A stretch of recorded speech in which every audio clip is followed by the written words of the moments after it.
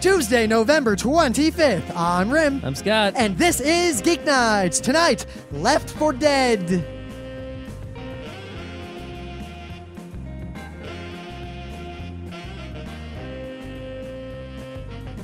Let's do this. Oh, it feels a long time since we made a show, huh? Ah, it hasn't been that long. Yeah. Well, uh, the first thing I got, I got a few items to take care of here. Oh, right? do you? Oh, yeah. The first one is that this Thursday, which would have been the next episode, right, was scheduled to be the book episode because you know it was, You know, you could have just not said anything and no one would have remembered. No, and we but- could have just said, without any preface, just, hey, and don't forget, the next Thursday show is the book one. But this Thursday is Thanksgiving, so there's there's not going to be a show. Oh, there might be a show. No, Uh, well, there's probably going to be a show. No. I'll make a show. All right, well, you can make a show on Thursday, but the Thursday after that, so two weeks, which would be, the, I guess, the second week in December, will be the book episode. And the book is, you know, uh, the first book of, you know, Well, what, what, Earthsea. what? You know, you acted like you didn't know. It's the first, uh, you know, Tales of Earthsea, the first book. And um, I, I met, speaking of that book, right, I met Waters Poison in the City today because his, uh, his Georgia Tech marching band is in the Macy's parade. So he's, you know, Ah. and uh, he was telling me how he read the book pretty much on the way here on the bus. It didn't take very long at all. Uh, That's why I chose the book because a lot of you people don't read. This is like this is an easy book, like a middle like it's like a middle school kid book. All right, you can read it. It's cheap. It's tiny. It's quick. Get the book and read it. I'm going to put the link in today's episode to remind you. And two weeks from now, we will actually talk about this book. Well, if you need a, a, a more, uh, more, I don't know, prerogative, more incentive, I'll warn you. If you don't read this book and you're thinking you'll hold out until the next book, I'm picking the next book. yeah. Take that as you may. Uh, second item, all right, because it is uh, Thanksgiving on Thursday, a holiday only United States people celebrate, but uh, I think the United States constitutes the majority of our audience. I am reinstituting my Thanksgiving thing from last Thanksgiving. Send me your cornucopias. Last time I got one cornucopia. It was pretty good. It was an awesome cornucopia. It was like the best cornucopia I've seen in my life, but it was only one. So make Yigi cornucopias for me. I want them. and also, don't want your corpias. don't worry corn. that these will go into some internet void because uh, part of the new website will eventually have galleries and places to show off stuff people have sent us. Yes, including special cornucopia page. You still have that old cornucopia. Uh, of course, I have all cornucopias. I am a Well- collector. you have one. Yes, that is how many I have. And also, even if you collect, you can't have all of them. I have Some- every geeky cornucopia worth having. Oh, do you? I do. But I thought you only had one. Uh, that's all everyone worth having. Right, right, right. That So, uh, exists right now. video games. Yeah, video games. Uh, I don't know. I thought you had some. You you made like you had this news. You won't tell me. what Oh, you want to go to news? I thought you had something to say about video games before news. No, yeah, I'm playing video games. Ah, me too. Mostly NS and Left 4 Dead. That's it. And, and Picross. Picross. Fucking Picross. You know, I still haven't even opened Order Ecclesia. Nah, you know, Chrono Trigger comes out, I think, on. I know I pre-ordered it. yeah. All right. Why? Why did I pre-order that? I don't know. You could have waited. It would have been cheaper later. I've beaten that game like a hundred times. I've beaten it at least two times. I've once on it- regular and once on plus mode. I've got it half memorized. Yeah, I got it half memorized too. Uh, I start my memory only gets fuzzy once he gets to, like caveman land. Anyway, the um, so check this out. Richard Bartle. Do you know who Richard Bartle is? I have no idea. He's the guy who made the mud, the original mud. No. Right? Apparently, despite making and inventing the mud for all intents and purposes, you know, just as much as I guess Alexander Graham Bell invented the telephone, he likes playing WoW. and that that alone is shocking. But um he's talking about the Wrath of the Lich King, right? And he put this post up on, I guess, his blog, and he's complaining about this quest early on in the game. And basically it's a quest I want you kill six snow moose. Yes, kill six gnomos. No. Uh, this quest basically is a it's a pretty simple quest. You know, you take this needling rod of some sort and you go find this prisoner and you torture them for information, basically. You needle them until they tell you what you need to know. and then you s- complete the quest. Congratulations. But, but in Warcraft, wouldn't this be basically you have the needler, you find the guy, you stand in front of him, and like hold down whatever button. That's that's pretty much all you have to do. The what his pro what Richard Bartle's Wait, wait, problem. now there, ga- one could could guess that his problem is that you're uh, torturing someone in game. Perhaps, but that's not just that's not his only problem. You Oh, see, see, because the other way to go would be maybe his problem is that the torture is lame and not realistic. no, no, no. Um, his, the crux of his problem is that you can't decide not to. You can't say you can't. You know, the guy comes up to you and says, "Hey, torture this prisoner." You can't say no. It's it's you either do it or you're stuck and you can't continue. You- Well, that's pretty much the way all quests and all MMOs have always been. You know, that's true to some extent, but the thing is, I think about the old muds, right? The old muds. And even though the old muds, you know, they were no, you know, burning wheel. They they were, you know, they they didn't What- have some Usually, the choices, if you were on a quest in the old muds, was the king is giving you a quest. Do you accept? And if you say no, he kills you. Well, yeah, that was quite often, but there were, you know, attempts to give because those things were based on D and D, and there were some attempts to give you choices and things, and you know, make things matter. And you had like your you had actually had an alignment that would you know change from you know lawful to neutral and good depending on what you did. Well, you know, even the realm had that. I mean, I remember you you started out good, neutral, evil, whatever. I picked neutral because if you start, you know, if you go to the one place and kill angels, you become evil. But if you go to the other place and kill the devils, you become good. Yep, yep. And if you steal from people, you become evil. And I remember I became evil in order to get the multi blade, aka the multi pass, which was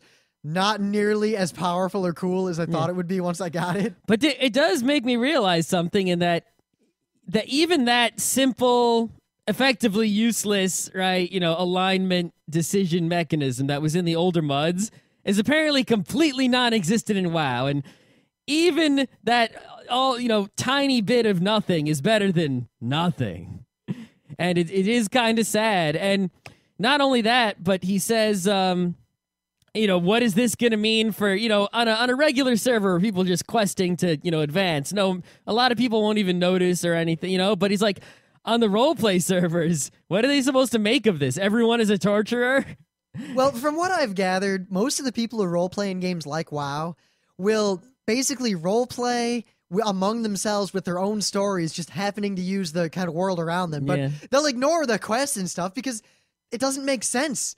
Everyone did the quest. Everyone's the hero. So yeah the other thing is that he says um, the, the the other thing he he that bothers him is that this torture was not. It's not that there's a quest with torture, right? You can make a quest with torture that would be good, you know, with if you had a decision or if you portrayed it in such a way as to make people realize something, or maybe if you tortured and then you know someone came and was like, "What the fuck's wrong with you?" something maybe like that. Why couldn't it just be the moral of the game is that torture is awesome and always gets Yeah. you what you want? I mean, Yeah, good. But, but he says the thing that bothers him the most is that this torture was sort of placed in the game casually as a run of the mill quest with no regard for the fact that that was something that was sort of weird, you know, uh, uh, something uh, that you know, Wait, should, but I point out Bionic Commando.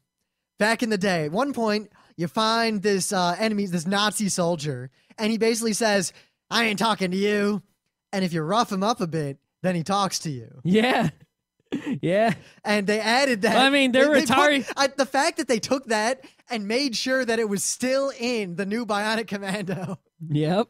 They're like, "Hey, torture that guy." So you walk in and you just kind of poke him a bit, and then he goes, "Ah," and he talks, and then you kill him. But I just think it's you know, it's See- so, it's sort of interesting. th- there's two ways to go. I mean, of course, my ideal MMO, you know, massively multiplayer online role playing game, which is not what MMORPGs are anymore. Well, if they ever were that. But imagine a world where you have junctures like that all the time and you always have all these choices and not everyone follows the same path. You know, take the the Oblivion or the Fallout idea of there's a million different things out there, but and, and everyone can take different paths. You know, kind of like a multiplayer Fallout, but with a lot more stuff, and they're not all just fetch quests. And make it so that every decision you make affects your character permanently in some way that's rolled into your narrative.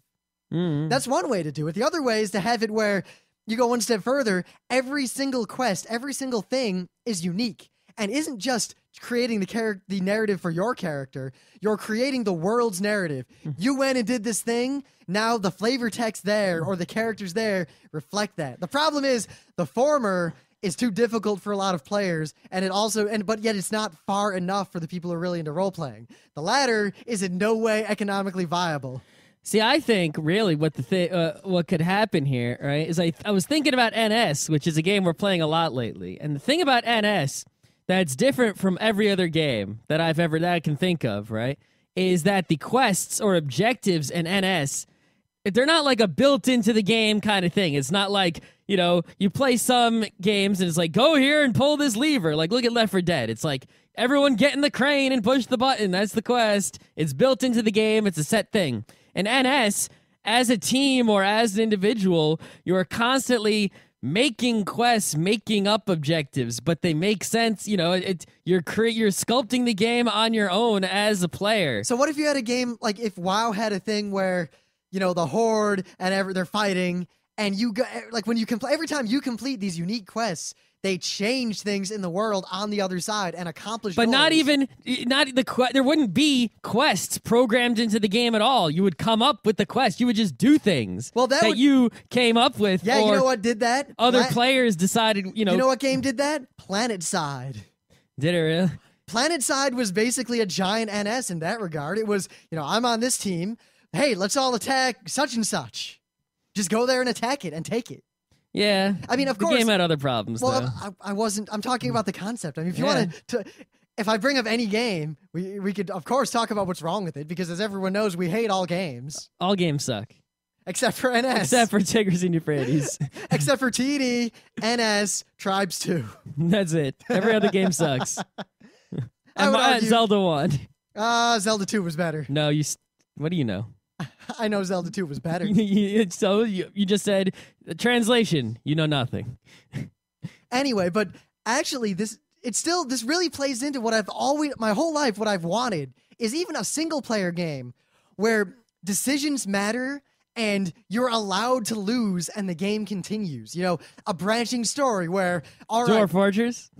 But that's not really a, it's not the same kind of game at Well, all. Dwarf Fortress is, is similar in that you have uh, a narrative emerging from your own decision making. I'm talking about but- something as simple as all right, it's a Final Fantasy-ish game. Go and save the princess.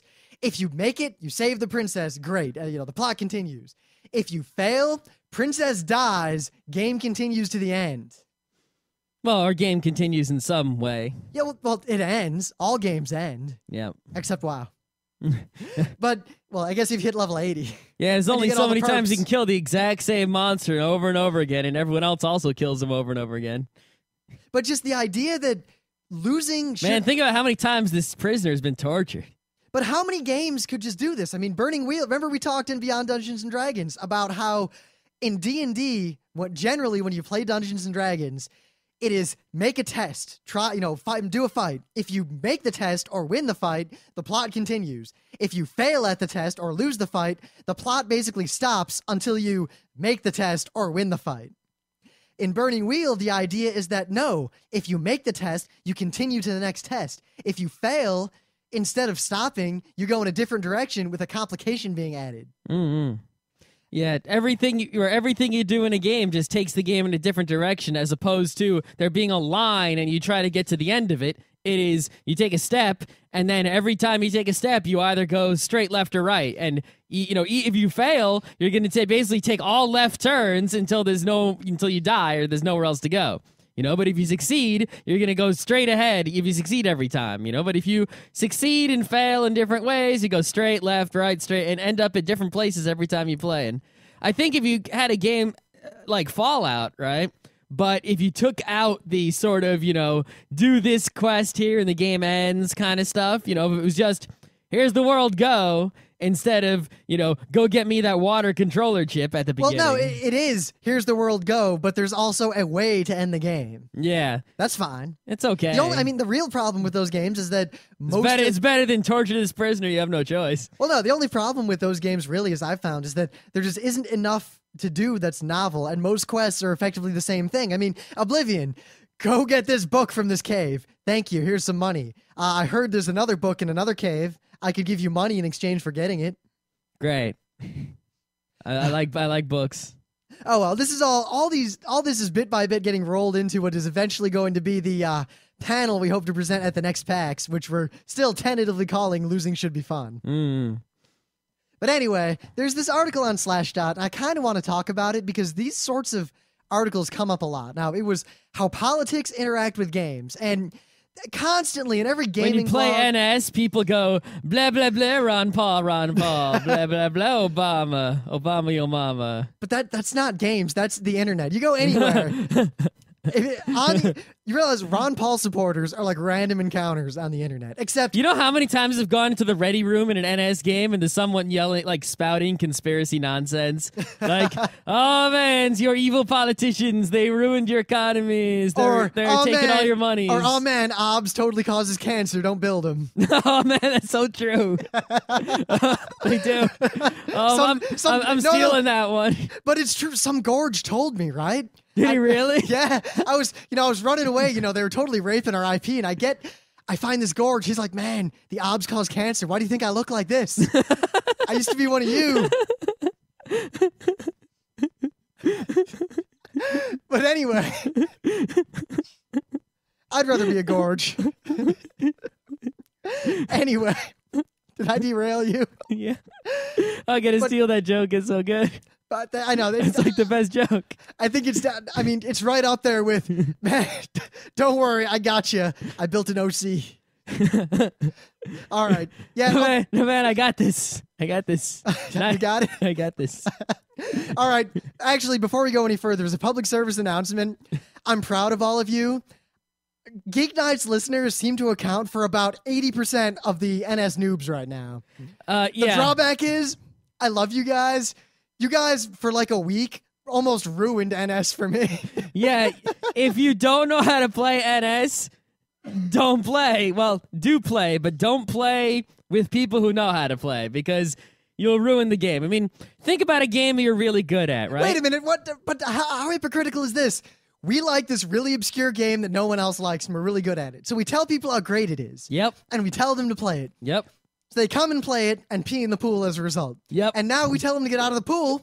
We tell you gotta pee in the kiddie pool first, and then you can come in the big kids pool, and then you can come on the high dive.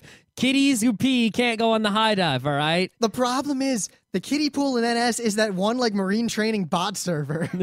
Well, you guys gotta, you know, there's people are in the. If you go to the forum, you know, we're trying to set up a server. I think G David set up a server. yep. And we are working on some tutorials, but Yep. All I- you kiddies can go try to like play with each other on some empty servers or something. Don't come to our servers. Don't join our games until unless you're good. Unless Jerk. until you figured it out. Not because I don't want to play with you. I do. And if you actually, if you guys, you know, do find a kiddie pool to play in, maybe I'll come in the kiddie pool and you know show you how things are done. But Wait, what? I, I believe you mean come in the kiddie pool and shove everyone down laughing hysterically the whole time. Well, yeah, that's probably what'll happen because that's how the game works. But you know, it, it's imagine As you jump into the com, drop one shotgun, and then like man rush the hive. well, think of it. Think of it this way, right? Pretend you're really good at oh, you know, Monopoly, right? Monopoly is a game that even if people don't like it, because we don't, uh, people understand it, right? Let's say you're playing Monopoly and you know how to play, you're really good, and everyone else sucks. That's kind of fun for a little while because it's like I got Boardwalk and the other guy's like, "Oh, New York, I don't need to buy that. Yeah, I'll just pass on that one. Who cares?" You know, "Oh shit, I'm in jail. What's this get out of jail free card do? Should I use that? No, okay, I won't." You know, but imagine if someone who doesn't know how to play is on your team. It's like, "Yeah, I don't want to buy that Boardwalk. What's wrong with you? Oh my god, buy the stupid Boardwalk. Nah, I don't want to. Ah, it- it's you know, you're gonna be mad frustrated. So when you join an NS game, it's a team game. So if you're not good, you can, especially if you're an alien, Scott, Scott, you can ruin your team. Scott, I'm gonna I'm gonna translate what you just said. Get the hell off my lawn! God damn it! You join the Ah! other team at least, not my team. I mean, if you're at, at, at, at least if you're a marine, you can the most damage you can do as a marine is just keep getting killed constantly, and all that will do is give the other team some RFK. If you're an alien, you're getting these resource points. If you don't know how to spend them, or if you like turn into an Onos and die, you just cost your team like 75 res. Oh my god, you just Hey, ruined the game for everybody. Compared to Scott Johnson in Left 4 Dead. well, we'll get to that. We'll get to that. Anyway, but the, regardless of all that, Of forget course, he did the same thing in NS too. He joined a game of NS, and he was sitting there not spending his res, and then he sort of he turned into a gorge, built some things, and then left when he realized he forgot how to play. I, whenever I'm going to leave a game and I have res, I always turn into a gorge, build a bunch of stuff, and then leave. I figure leave a nice parting shot for my friends. yeah, you got to do something like that. Or just Onos rush and die and then leave. At least be a lurk and spray a bunch, But no, that's a long term strategy, not a short term. or at least anyway, this, Zeno.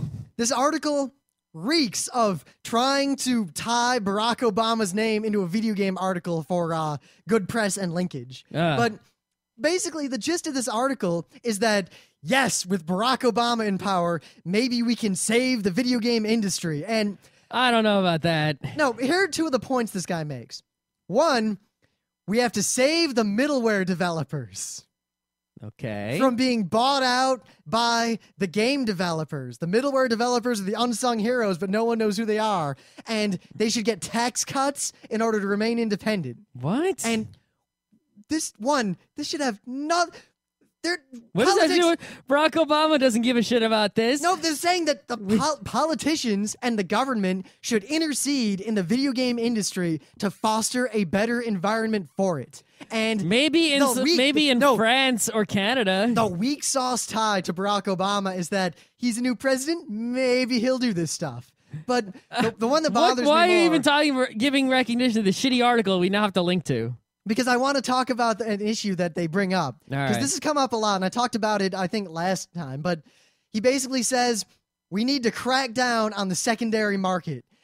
People who make games Uh. should get mandatory legal compensation every time the game changes hands in the secondary market. Fail. And the government should regulate this with uh, the equivalent of a blue book and at the same time price controls to make sure that the secondary market that is regulated doesn't gouge anyone. Fail. Well, I mean, aside from the obvious argument of anytime someone creates IP, I mean, I think everyone agrees that if you create intellectual property, you need to be compensated in a reasonable way. Otherwise, the incentive to create intellectual property or the ability to raise money to create high budget intellectual property basically goes down the toilet and nothing else gets made. Well, unless we go back to the old school patron system, which you know has infinity problems. Well, yes, because then the problem, the real thing is we have two systems: the patron system and the copyright system, and both of them have infinity problems each. So what do you do? But the thing is, the I think the free market compensation system works a lot better. The only problem with IP is that the compensation system is set to where you can make one thing and expect a profit off of it for 90 years. Yeah. But anyway, why do people treat the video game secondary market so differently from everything else? They're I mean, used bookstores. are auth, you know, authors are still not complaining about it. yeah, used CD stores have always been a big hit. There's I can buy a used car. There's no regulation. Are the- used used cars are the reason that you know they should just ban the sale of used cars? Then Detroit will be saved. Uh, I saw someone argue that non-ironically. what the fuck? What the fuck? Yes. Yes. What the fuck? but it seems like the video game industry has this weird relationship with politics in that politicians, especially in America and Australia and Britain, te- seem to really, really, really like meddle in the video game industry a lot. Yet they don't meddle at nearly the same level in all the other kinds of IP. They don't come down on violent movies nearly as hard as they do on violent video games. They don't come down on, I mean, a boob in a movie. All right, that's okay nowadays. It's But- no, you know, back in the day they came down hard on the rock music, and then now the people in charge are the rock music. So as soon as the people in charge are the video games, they won't come down on it anymore. It's the history of the world. It can't be changed. Uh, That's how things are. The problem here is that technology is moving a lot faster than it used to, and video games have gone from nothing to niche to mature, wide market audience. Long, long before that change, I mean, the rock and roll revolution and the movie industry revolution, the technology and the advancement of movies just went more slowly. Look how far video games have come in the last, I don't know, 10 years. Mm-hmm. And yet the politics have gotten more restrictive and even worse. well, I don't know what to do about it. But at the same time, we've got people like this guy, and he's not the only one. Like they don't want the politicians stepping on their freedom spe- of speech and regulating their industry, except when the regulation makes them more money, and then they really, really, that's really how want. that's how everyone you know that that's the difference between someone who has a you know political science principle and someone who just is looking out for their own you know self-interest right? Someone like me if you ask me a question right to i'll give you an answer such as you know i don't care what regulation you want right there should there should be less regulation on video games period right? But someone else will come in and they'll be like you know i don't care about your political principles your ideologies the constitution you know? If it's good for me eh, you know it's good. If it's bad for me it's bad. Like there was a i was reading a thread in a for a superhero forum and they were like what if there really were vigilantes and a lot of people are like yeah as long as they only go after the criminals yeah beat the shit out of them criminals and i'm like uh, how about the principle of you know innocent until proven guilty? No, but to play the uh, the devil's advocate, there are two ways to look at American democracy. On one hand, there's the political science view of you strive for the political ideology and political framework wherein the reasonable debate and the decision making can happen. The other way to look at it is that it is an adversarial system, and you should use every instrument provided to you by law within the system to get the specific issue things that hmm. you want for your best interest accomplished in the hopes that the varied and competing self interest balance out. And our government hmm. system is based very heavily on that principle. I mean, look at our hmm. balance of powers. We have three different branches that each have the power to screw the other two. It's like a giant democratic paper rock scissors. Yes, but the two things can work together. You know, if you have a strong Well, they do. That's called American Yeah, democracy. but if you have a, if you have a strong, you know, political principle underlying everything, there is still plenty of room for debate on specific issues. You know, I mean, the you know, if you say Congress has this power, yes, they do. Okay, that question is answered. They could still choose to do this or that, and you have your, you know, your specific issue debate going on. To quote, perhaps it's my own personal audacity of hope at work here that President elect Obama will care enough about our industry's plights to create, introduce, or sign into law legislation that will benefit us as a business. Or maybe it's audacious enough to suggest that he'll even have the time to address these issues as America tries to pull itself together in the midst of everything that's going wrong. Uh, how about video games like the last thing on the list? And two, you're better off writing like your congressman. Obama doesn't give a shit, and there's not much he can do unless Congress does something first. Uh, Even if this was a good idea, which it is not. it's not. This, oh, who wrote this article? Give me a second. Who actually wrote this? a Uh, retard, Nick Michetti. Not smart. I don't know who Nick Michetti is, and he is the something something combo. I give up.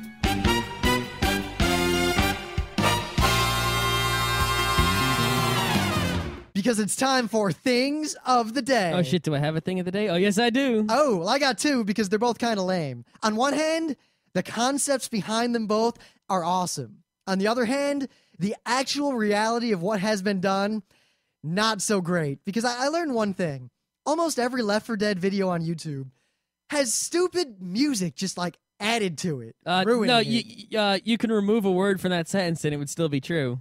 every Left 4 Dead on YouTube. No, every video on YouTube. yeah, but um, two things stood out.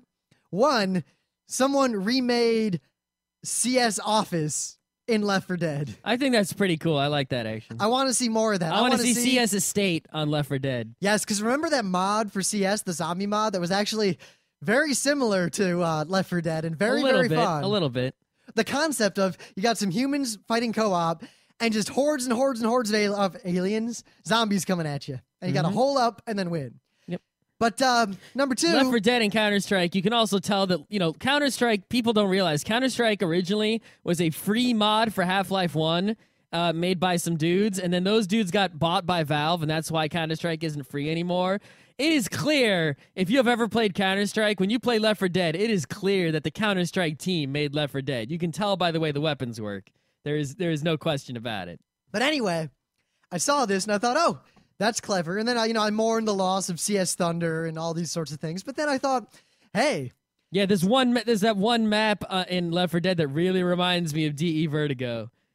oh man, that was the one where I was the tank. But anyway, And you punched someone off the building. I punched three people off the building. oh man, it was great. it was great. But uh, item two, I thought, hey, we should make a Leeroy Jenkins video in Left 4 Dead. And then I thought, hmm, I wonder if anyone Yeah, else Yeah, because I mean, it. you got that whole thing with the witch and everything, and the boomer. If someone just said Leeroy Jeng and ran in and got boomed and then woke the witch up, that would totally be funny. So what I linked to is the best one that is out there. Someone made a, the best Left 4 Dead Leeroy Jenkins video that has been It's made. still not a good video, but it's the best one. Yeah, so uh, I implore all of you, the you, least smelly poop. if you, someone out there, I don't have time, make a Leeroy Jenkins Left 4 Dead video. But if you do it, use the audio from the original one. Don't put any music over it. Yes. Just have some people talking. This is how the video goes. Ready? Some people are talking, right? In the game. Got So it. then one guy isn't moving.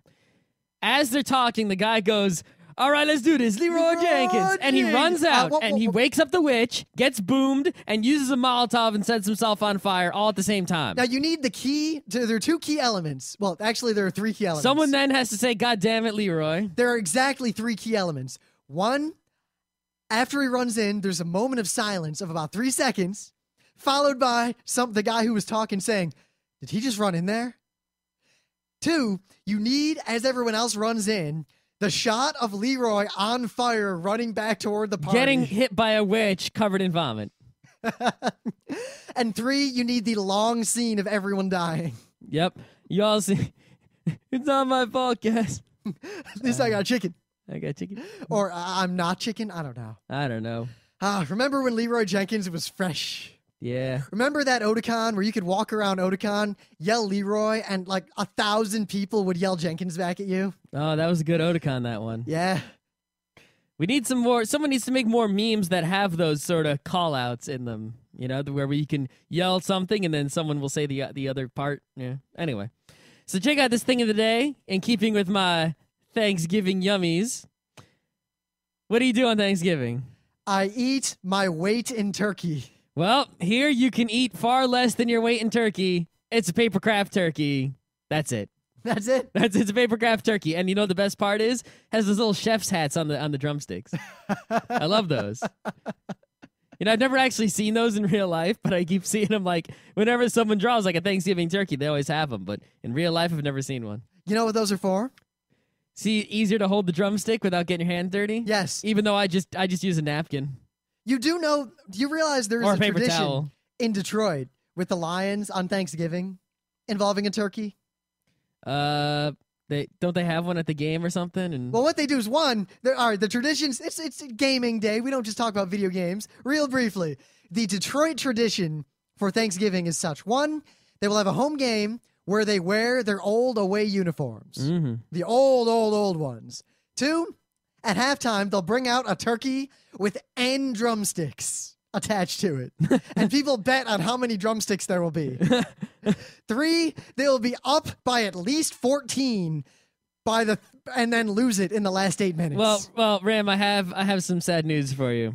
You ready for this sad news? Mhm. Number one, the Lions so far this year are winless. I don't think any NFL team has ever gone the entire season without winning. So, hey, hey, hey! If anyone can do it, we can. Right. Well, secondly, uh, you just said you know the Lions are going to be up and then lose it at the end. Oh, they're gonna be up on Thanksgiving. They always Um, are. The Lions are playing this uh, on this Thursday. The Tennessee Titans, the best team in the AFC. They're going to get killed from the start to the end. It's going to be a slaughter. I don't think you understand the magic. You see, the Lions can only do well when they're about to be crushed, and the more they're about to be crushed, the better they will do in the beginning. And the third news is that there is talk going on of ending, uh, you know, because Detroit sucks so bad and no one wants to watch them.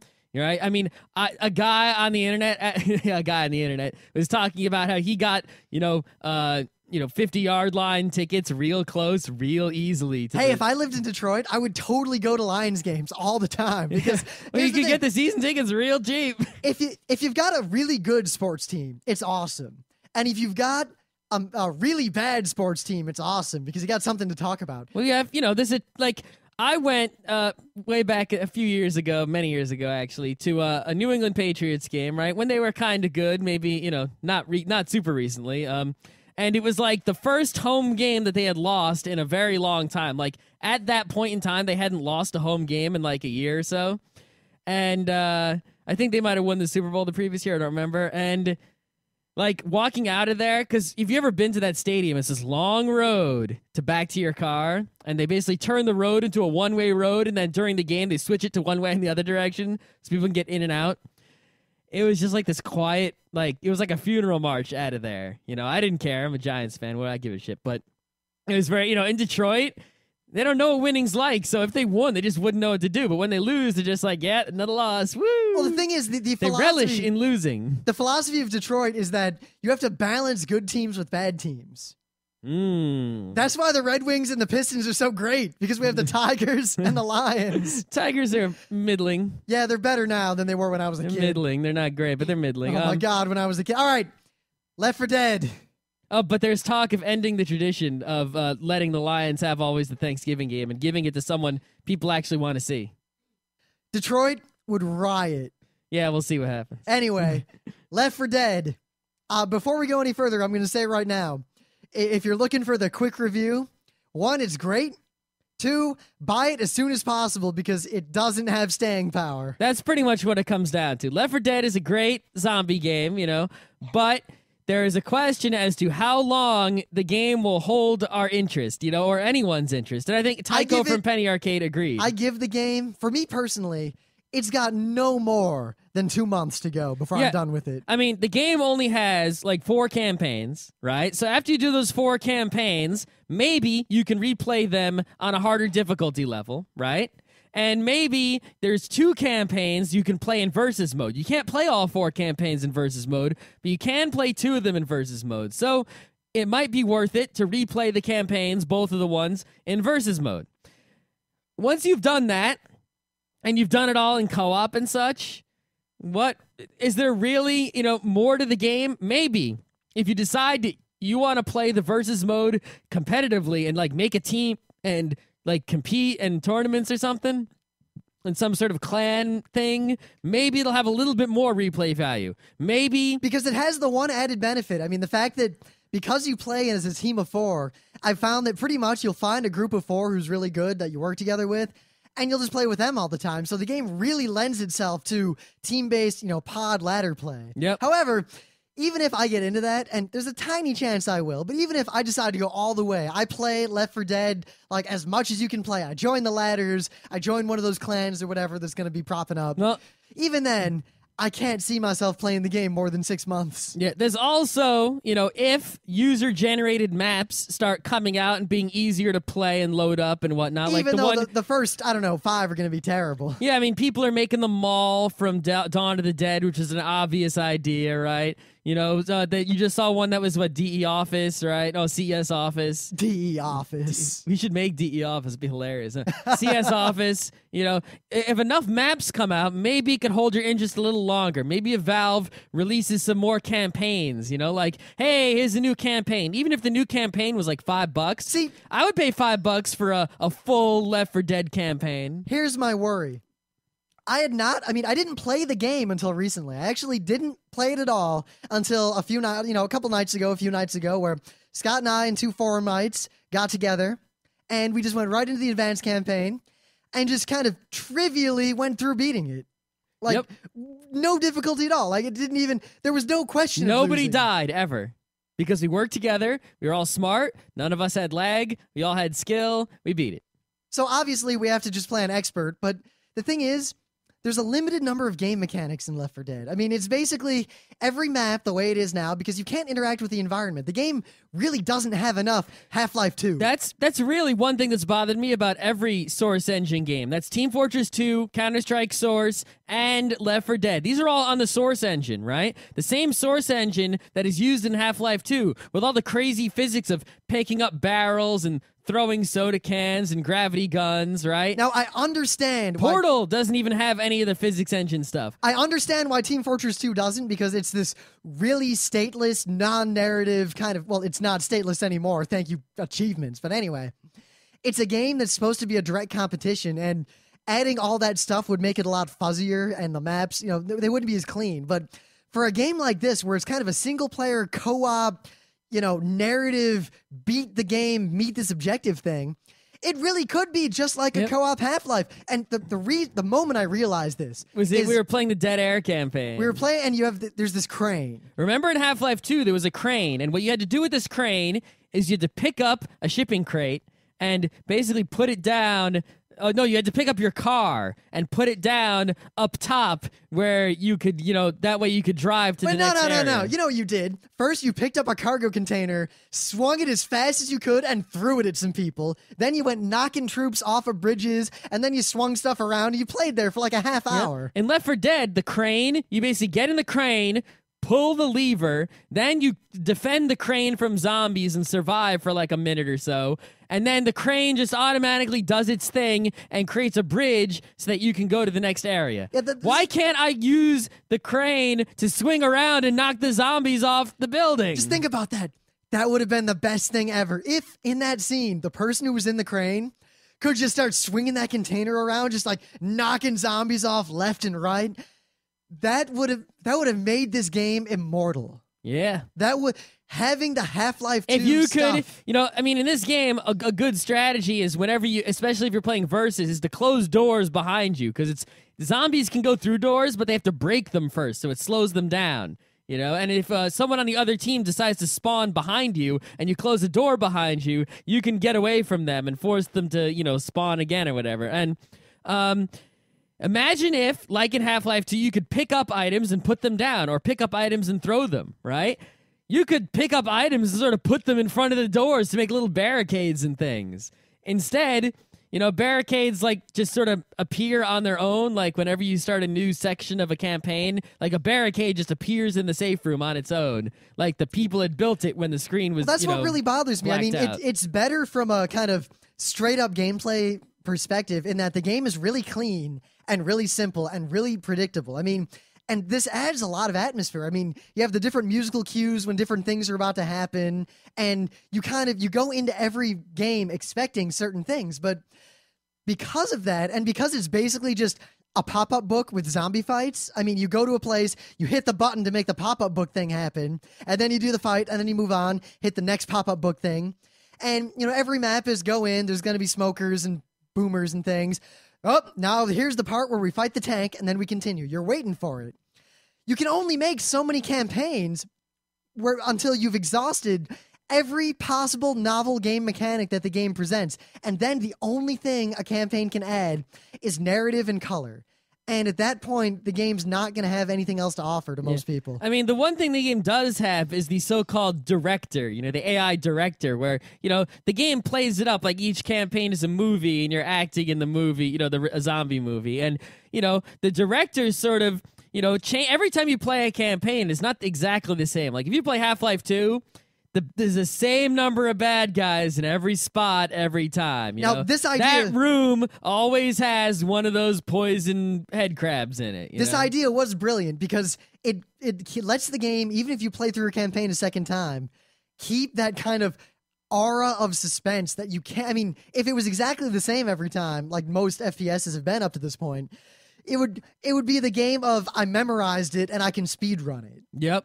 But no, the director sort of changes the flow of the game as you go on. So if like you sit in one place and don't move, like zombies will sort of keep coming at you if you don't start moving. You know, they'll be like another flood of zombies. Oh my god, one of them saw you, right? Or you know, maybe sometime you'll go through, there'll be a witch in this spot, but maybe the witch will be in a different spot, or maybe there won't be a witch. There'll be a tank. Maybe there'll be two tanks. Maybe, you know, and it's sort of the game throws you know the bad guys at you as if there was a director you know a, a, a real director sort of deciding and controlling the flow of the action. But it's just an ai controlling the flow of the action. The game does a really good job of keeping the atmosphere right and balancing hectic times with quiet, scary times. yeah i think if you play an expert though there's a lot less quiet times. Yeah, but in advanced you know the, at least the balance for cinematic purposes is just right but it's not hard enough and we just beat it every time Yeah, but I just I feel like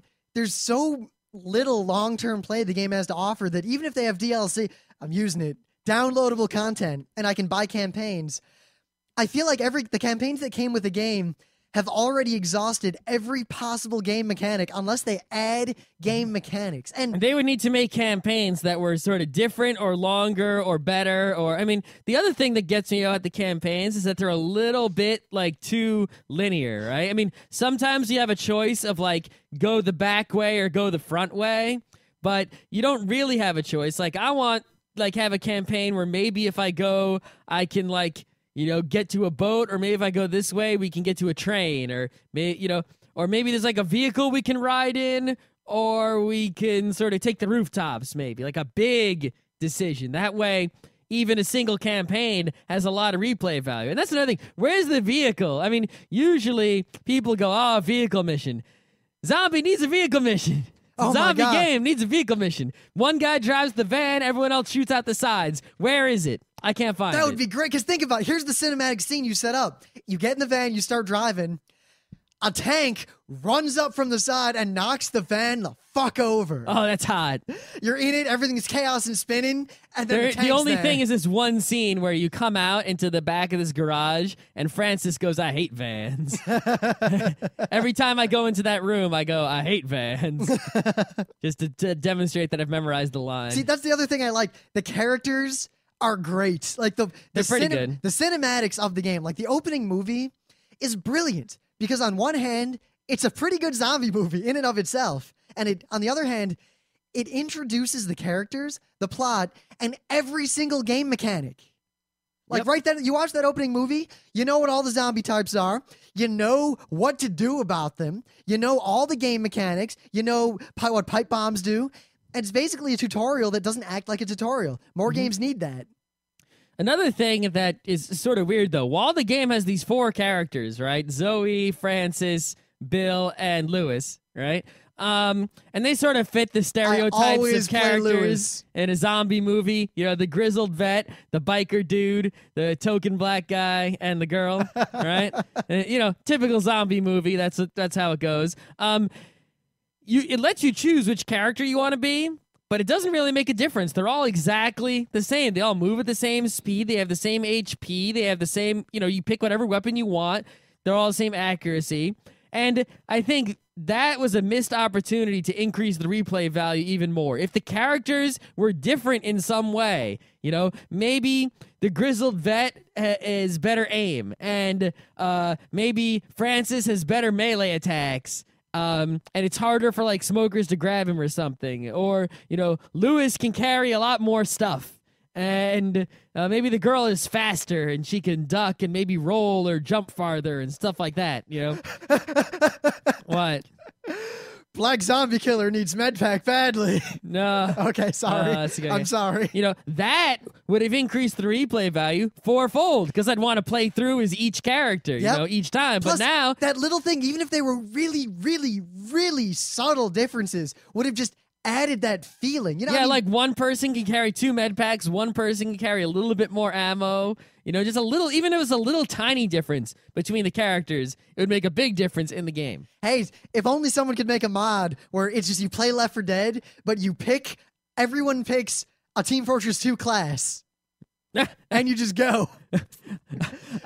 Uh, I don't know. I, I just pick the scout and run to the safe room and close the door. I don't know. Engineer could be fun. Everyone could be fun, except the spy. well, I think the heavy would get uh, owned. He wouldn't have a chance. I mean, Maybe. he'd mow him down, but then he would get overrun. He You'd have to tweak to the game, it. but I don't know. The game, the single player game, is not going to have staying power. So that's why I said if you want to play this game, play it now because everyone who's into it now. The player base is going to drop off like a rock within a year. This is going to be one of those situations where if you weren't in at the ground floor, you're really going to miss out because by the time you decide to play a year from now, no one's going to be playing and no Yeah, one well, good's going to be there. If you get, say, the 360 version, right, you can play it with people in your house. So if you have friends who also haven't played it and you can get them together, all you need is four people. And if you've got four people that haven't played, you can play anytime. But if you want to play it with the people who are playing it now, right, the people who got into the ground floor, the we're gonna be bored of this game in like a month or so, and then we're not gonna play it anymore. So if you want to play, you know, you with co-op with, and you don't have three friends who also have not played, you, now is the time. You got to pay the fifty bucks and get on that. Now, the- also, you know, th- there is a 360 in PS3. I think there's a PS3. I don't know. There's definitely a 360 version.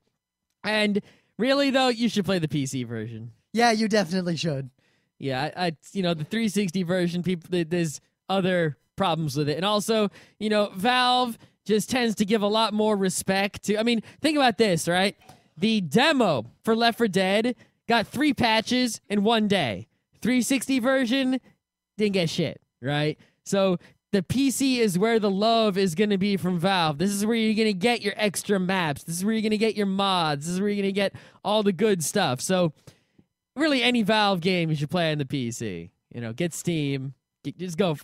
Just play on the 360 unless you don't have a good PC and you do have a 360. There's really no reason to get that version. Plus, the 360 version is more money. I mean, I pre-ordered the PC version for $45. The 360 version is $60 and you're getting less. What the hell? I don't know. All right. So, before we really talk about the multiplayer, we need to tell the tale of the because the first time I ever played multiplayer was right after the first time I'd ever played the game, which was the game that I'm talking about right now. It was me and Scott, and who was it who was with us? Classic and someone else. All right, remind me. Sorry, us. someone else. Yeah, you guys were great. Maybe it was Tay Dan Pilot or Bronze Dragon or or Ty, I don't remember. Yeah, th- th- there's some people playing with us. They're all cool. Yeah, and there were people on the opposite team, but we we know we decided to play the verses because we've played out the single player right then, and we're feeling it. We got a good group going. Well, the co-op. Well, I, I call it the single player because it's basically while it's a co-op game, it's re- it plays like a single player game. Yep. I mean, your friends are basically just advanced AI well, they talk to you, which is nice. occasionally. Hmm. But uh so we decided to play the verses, and the verses works okay. I mean, it's it's really The verse not- is pretty clever. It is, but- it's not super fun to play with the zombies. Well, the thing is, is the way that the verses works, just for people who don't know, is uh, it's not like some other zombie games where it's like, oh, you're a survivor, but you get bit and you turn into a zombie. No, no, no. You have a team of four people who are the survivors, and they're trying to beat the mission as you know as they would in a normal game.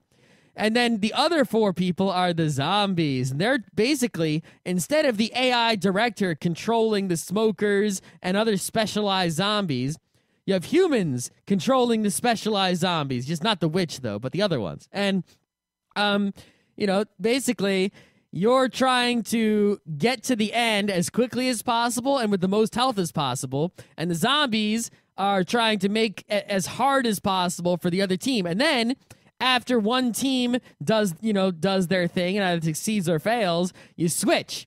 So it's basically who can, you know, play the game better as survivors and who can make the game harder for the survivors as zombies. And so it's sort of team versus team at playing the normal game. It's really I can't come up with a better way to handle it, and it, it works really, really well. It was. It was a clever idea that I would not have come up with. The only problem is that basically, if you're good at the game, you will not have fun because the majority of people are bad at the game.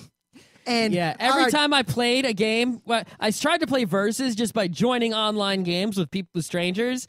And every time I was either on a team that was so good we just won, or on a team that was most of the time I was on a team that was so shitty I couldn't win no matter how good I was. Yeah, it's well in general, this is really a game where playing with strangers is not rewarding. I mean, you can play with strangers and you can make friends and all that, but if you really want to enjoy this game, you really should play it with friends of yours or like the set group of people or have like a circle of maybe 12 friends who all take turns playing with each other because if you're not playing with friends, you're going to miss most of the magic of this game. Mm-mm. But in terms of the multiplayer, the four of us went into the multiplayer against four other people. And uh I think we were the zombies first. And uh they didn't make it 20 feet out that safe room door. They didn't make it at all. Uh I think the saddest part was when their score broke double digits because Yeah, they had a their score. Basically, you get a score based on how much health and how far you got through the level and how difficult the level was and all these factors. And their score was like ding, ding, ding, ding, eight. 11. I was like, no, they broke into double digits, those fuckers. then it's our turn. And we literally just kind of run at full speed through the map, killing all the zombies straight for the exit, taking no damage. We got 4,000 points. Yep. So, uh, So uh, round and two. the other problem, right, is that this happens, right? One team is good, one team is bad. So what happens here? People on the team that is losing leave because it's not fun to lose. Everyone on the losing team quit immediately, except for Bronze Dragon. You get mad props for sticking to the end. And he had wicked lag too. yeah. Right? Here's another here's some of here's the problems that fold out of this. Problem number 1, if you join a game online randomly, where are there going to be empty slots on losing teams? Right? Teams that have just and which means you're against a good team, which means you're going to lose. You can't carry the team on your own. You need three other good players. Problem number 2. If you're a winning team, a winning team spends a lot of time playing as survivors because they probably make it to the end of the level. And when they're zombies, they end it real quick. So a winning team plays a lot of survivor and very little zombie. A losing team plays very little survivor and a lot of zombie. Zombies can be fun, you know, smoking people and, you know, barfing on people and all that good stuff. Get being the tank is super fun. But when you're the zombies, right, you're spending a lot of time dying because you die very quickly and trying to find a spot to spawn, waiting to enter spawn mode. It's it's more boring overall. There's a lot of waiting and a lot of doing nothing. Whereas in you're survivor, you're playing constantly. Plus, imagine how unfun it'll be. You're playing against a good team. So basically, they see you, you die. You grab someone, you have to wait 30 you. seconds before you can play again. Then you see, then you join, you spawn, you attack, maybe you get some damage on, you die. You wait 30 seconds to do it again. So really, the only way to play the multiplayer where it's fun is either to form a team of four and play against another formed team of four that will not rage quit, that is also good. or, or at least similar in skill level, Mm-mm. or join the professional ladder play. Yeah, or something. I don't know. But yeah, that's that's a serious p- flaw in the versus I mode. say, Even though though- the versus mode is pretty fun when it when it works. Being the tank and that vertigo map was like the best thing ever. Oh my god! Yeah, that's another flaw in the versus I mode. just run up to a survivor and I'm like punt and just beep. So let's say you're playing versus mode, right? And it's four on four, all right? Um, you have to, in order to win as the zombies, you need to kill all four of the other players. Let's say it's four on one in versus mode, right? Well, it's one real player and three AI players. You only have to kill the real player and then you win. So it's actually completely unfair because, you know, if you have less players, you are at an extreme disadvantage to where three of your players don't even count. Just one of them dies and it's game over. Well, I think the idea is that you're only going to have AI there temporarily until someone else joins your losing team and then rage quits. yeah. Yeah. Rage quitting is a big problem. So, It is. yeah. I don't know. The, I mean, what can I say? The game is really fun, but it has enough flaws to where I, I'm not going to be playing this come February. No, but I'm glad I bought it. I am actually playing it. Yes. You know, more so than other games. I am not I'm not playing BioShock or Fallout 3 or any other games I bought recently, but I am I'm playing Left 4 Dead and I'm playing NS sort of in equal doses. Um, the only thing is I think a couple months from now I'll still be playing NS, but I won't still be playing Left 4 Dead. Well, the thing is, think about how much staying power NS has had. We've been playing Six years? NS continuously for six years. Yep. Six years. No, that's a long Left 4 Dead is not a 6-year game. Left 4 Dead is not a six month game. I, I want to make a I want to make a parody of Left 4 Dead called Right to Live. what kind of game is that going to be? It's going to be your zombie trying to turn back into a human. So what? You run up to humans going, please help. and then they shoot you, and it's Maybe like, no. Though I have to give a very important public service announcement, and I mean this with all the love I can because this is a dear friend of mine, one of the corest and most stalwart members of the front row crew, the spine that was forged in steel and iron, the man who gave us Cowboy Bebop. But Scott Johnson is possibly the most dangerous person to ever have on your team in Left 4 Dead. He is terrible. Now, For someone who likes zombies and zombie movies so much, for someone who will talk, you know, who loves doing the old zombie survival discussions, he's really bad at Left 4 Dead. I love you, Scott Johnson. You're terrible. No, I love you, but well, I hadn't even played Left 4 Dead yet. I didn't even know how it worked. I hadn't read anything, done anything. Scott's playing in his room. I walk in, me and Emily are standing there watching. we see Scott. He sees a witch, and he, I I see the witch on Scott's screen, and Scott says, "Hey everyone, there's a witch right here. I'm looking at it. Uh, just walk past it and won't notice us." Scott backs away. He turns around. We see Scott Johnson go up do do do run straight for the witch, stand on top of it, and start shooting it. Luckily, Scott shot him dead. Yep, I I kept my word and I shot Scott Johnson dead because uh, I was role playing. You know that is one thing that Left 4 Dead actually has is role playing ability, right? a lot, there are a lot of people who will role play in the game. It's kind of cool. Yeah, th- there's some videos of it of uh, like good people doing it well. Also, there and I basically said, "Holy shit, this guy is dangerous. He may be not a zombie, but he's going up and waking up witches. This is not someone that I can be with." And I shot him dead because there's friendly fire in the game, which is totally cool.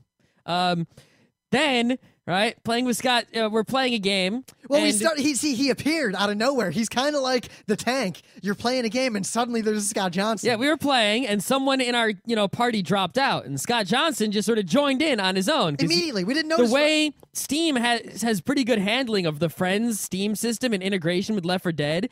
So if you j- have friends on Steam, it's very easy to get into games of Left 4 Dead with them, and that's great. So Scott Johnson used that ability to join our Scott game of Left 4 Dead. Scott Johnson used that ability to kill us all. Basically, If I was he joined playing, our game of my, Left my words would have been, Scott, right? you've killed us all. So he joins he joins this game of Left 4 Dead that we're playing, and this me, Rym, and Classic. We're No, doing, no, we're doing great. I think the game Scott Johnson was playing was not Left 4 Dead. He was playing how much damage to the party can I do in 20 seconds. So the first, so he he comes in, he's playing normally, he's playing normally. The first thing he does, he comes up and he starts to heal me. Now I had yellow health, but everyone else had green, but I still had like thirty something health. I did not need healing yet. He starts healing me, and I'm like, "Get the fuck off of me! I don't want your stupid healing. Get off!" There's no way to get him off of you. I tried to shoot him. There was no way to make him stop. He wasted one of our health packs Now- too early by healing me. Now that's fine. I mean, That's that's, not fine. too bad. That wouldn't that that alone It's is still like, bad, Well, know. whatever. Because I mean, I've wasted Molotovs. I waste things all the time. But well, I waste Molotovs sometimes. but the fact that Scott health packs a little more precious. Scott Johnson immediately after doing this, like literally, you you join the game, you waste the health pack, and then you turn toward a boomer and basically jump it as fast as possible. Yeah, there was a there was a ladder, and there was a boomer coming up the ladder. I saw it there, so I hit it with the melee attack, and I back, and it fell down the ladder. And I started to back off, and I pulled out my pistol, and I was like, "Boomer, boomer on the ladder, get away, get away!" Scott Johnson runs right at it. The boomer comes up the ladder and explodes on him because he shot it when he was standing right next to it. I- it was it was beautiful. Uh, We- it he might funny. be It able was- to. It was literally it was like he joins medpack boomer vote to kick vote passes. Yeah, that's one thing. It does have a good, you know, there's a good voting system. where You can vote to kick players off your team and all that. So if you have an AFK, you can just sort of stick around in the safe room, vote them out, you know, and get the AI to come in, which is better than an AFK at least, um, and stuff like that. But um, he might be able to make an excuse that you know he was doing it on purpose or something like that, which is possible.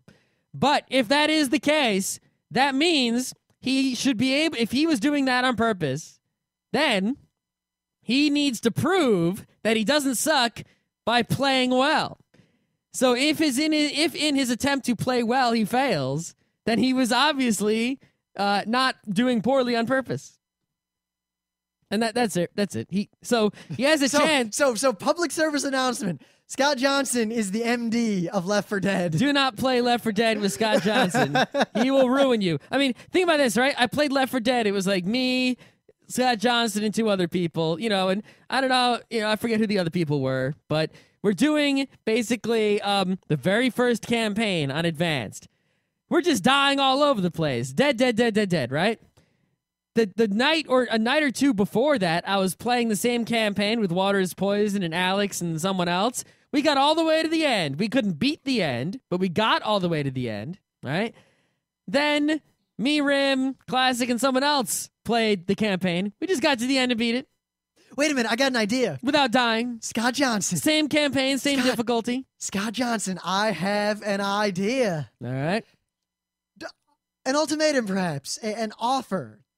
We will never make fun of you on the show in regards to Left 4 Dead again if you will assemble a team of four people of your choosing who are willing to play with you and take Scott and I on with a team of our choosing. Beat us at versus? Yes. That's not gonna happen. Yes. They got no chance. Come on, you can train. You you give you do it sometime in like January or February. Let's do it. I'll take classic. I'll take Water's Poison. You We gotta will film win. a demo with this. This has got to be the grudge match of the century. We can't lose. There's no way. and I know I am pre-hawk trash talking, as Scott will attest. Oh, that you something- I will. Will. You ready? I got the fucking dumpster of trash ready. No, but if Scott can, Scott can attest that pre-hawk trash talk is something I don't do frequently. it is not a thing I do. I will do the post talk once I know I am going to win, or once I have won. The trash talk will come out about how so- how bad you are and how much better your mom was the night before. But if I'm not sure I'm going to win, I often won't trash talk because then if I lose, the trash talk is returned to me threefold, much like Wicca. Yep. Any trash talk you dispense that was not validated by victory is, uh, you know, multiplied and you know, ret- uh, reverse direction. It's just Which like is why Wicca. you should not dish it, right? Until you are sure that the victory will come to back it up. Of course, if you might, if you think you're gonna lose and you trash talk anyway and you pull it off, that's like the 10x multiplier in a pinball machine. That is, that is, because if you pre-talk and then If you pre-talk- and then you win, Wait, it gets wait, multiplied no. and sends forward. You could have had some interesting rhyming if you pre-talk and walk the walk. Then they can't no, balk. eh, lame. Okay, All right, I think we're done. Left 4 Dead is fun, but it's not that fun. Play it while you can. and Scott Johnson sucks at it.